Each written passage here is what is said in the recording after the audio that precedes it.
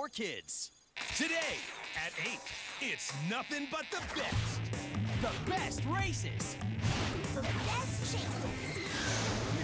The best traction. The best of Sonic X. Today